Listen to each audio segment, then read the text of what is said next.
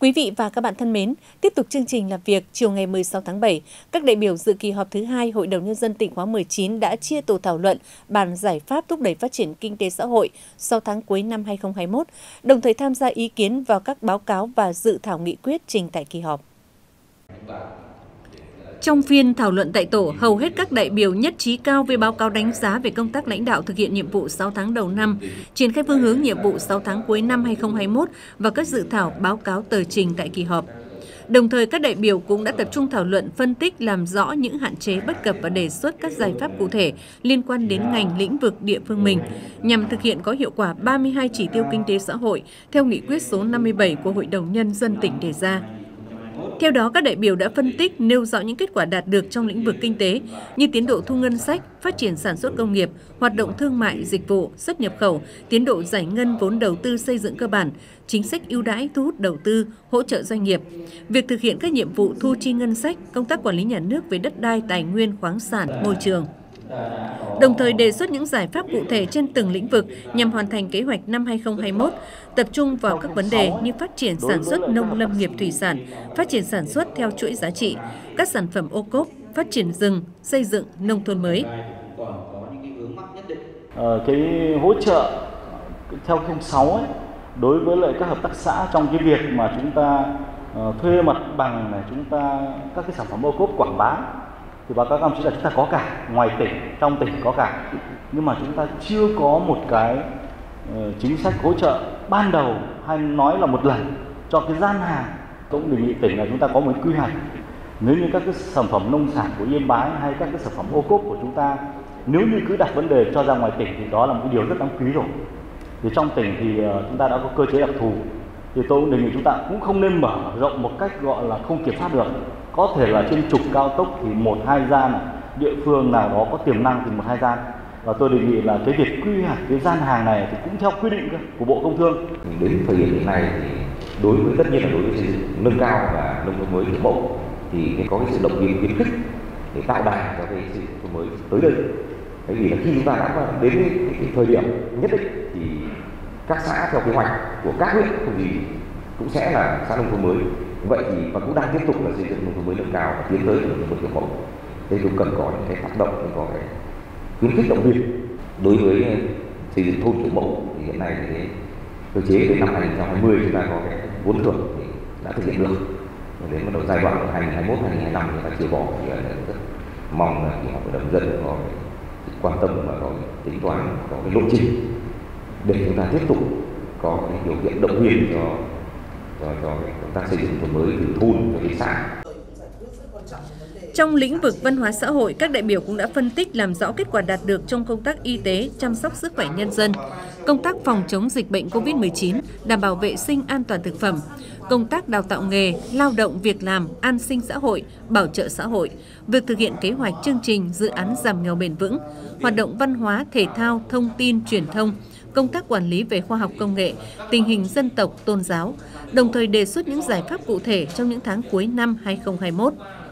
Đối với các đề án tờ trình, đặc biệt là tờ trình về việc quy định các khoản thu dịch vụ phục vụ, hỗ trợ hoạt động giáo dục đối với cơ sở giáo dục công lập trên địa bàn tỉnh Yên Bái từ năm học 2021-2022 sẽ có tác động đến xã hội và thu hút sự quan tâm của đông đảo cử tri và nhân dân. Do vậy, khi Hội đồng Nhân dân tỉnh ban hành nghị quyết này và triển khai thực hiện cần có hướng dẫn cụ thể.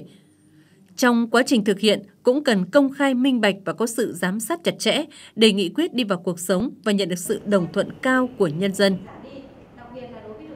À, cái việc hướng dẫn ấy, thì sau này là cái thỏa thuận ấy, tôi thấy là thu theo khoản thỏa thuận thì sau này chúng ta phải hướng dẫn rõ xem là cái thỏa thuận thì ai thỏa thuận thỏa thuận là giữa giữa giữa giữa giữa nhà trường với lại cha mẹ học sinh hay là với với với ban đại diện cha mẹ học sinh. Đấy, thì cái này là cũng phải rất rõ trong hướng dẫn trong quá trình tổ chức thực hiện. Đến nay theo quy định bộ giáo dục là phải là ban đại diện cha mẹ học sinh người ta đứng ra để để người ta thu cái này. Thế cho nên cái này tôi đề nghị là để cái chủ thể để mà phối hợp, để mà thỏa thuận với các đơn vị nhà trường trong vấn đề này, sau này chúng ta phải hướng dẫn rõ.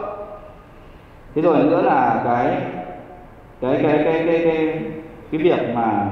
ờ, công khai giám sát kiểm tra cái việc này thì sau này của chúng ta cũng phải có cái, cái hướng dẫn rất là cụ thể. Đấy, những cái khoản này sau này có phải là ờ, thu trên cơ sở dự toán của phê duyệt không? Hay là cứ thế thu nhưng mà tôi nghĩ rằng sau này chúng ta hướng dẫn để chúng ta nên có cái cái cái dự toán phê duyệt trên cơ sở dự toán đó thì thì chúng ta mới mới đưa ra được cái cái mức thu. Thì đây là một nội dung mà các đại biểu quan tâm ở đây thì ờ, cũng ờ, đồng tình nhưng mà có ờ, một số nội dung thì thứ nhất là ở đây tôi xin báo cáo là về mặt nguyên tắc. Thì thứ nhất là đối với các cơ sở giáo dục công lập thì ngoài quy định nghị quyết này là không được thu bất cứ một khoản gì. Đấy, khi đã có nghị quyết này là anh không được thu bất cứ một khoản gì. Thứ hai là ở đây là có hai phần. Phần thứ nhất là dịch vụ phục vụ tức là những nội dung thu mà phục vụ trực tiếp cho người học. Ở trong đấy thì cũng có một số nội dung là liên quan đến thỏa thuận. Ví dụ như là thu sửa chữa uh, dụng cụ thiết bị vân vân. Thế thì trên tinh thần chỉ đạo của các đồng chí lãnh đạo là những nội dung mà nhà nước đã đầu tư thì là uh, không được thu của học sinh. Một cái việc nữa là những cái nội dung ấy thì đầu năm phải có kế hoạch và có cấp thẩm quyền. Thì cấp thẩm quyền đây là ai thì sau này sẽ có hướng dẫn là đối với mầm non Ờ, tiểu học, trung học cơ sở là do ủy ban nhân huyện sẽ xem xét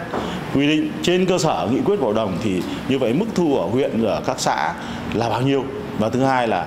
thẩm định cái dự toán đấy. Ờ, trên cơ sở cái dự toán ấy đã được sự đồng thuận của cha mẹ học sinh, tức là như vậy đã có cái công khai dân chủ và sau đó giám sát việc thực hiện. Đấy, và các nội dung thi thu thì thu đúng, thu đủ và chi đúng cái nội dung ờ, không có cái việc là thu cái nội dung này xong lại đem chi sang nội dung khác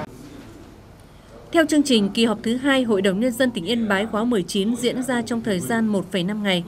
Sáng 17 tháng 7, các đại biểu tiếp tục thảo luận tại hội trường, thông qua nghị quyết và bế mạc kỳ họp. Thông tin chi tiết, mời quý vị và các bạn chú ý theo dõi trong các chương trình thời sự sau của Đài Phát thanh Truyền hình Yên Bái.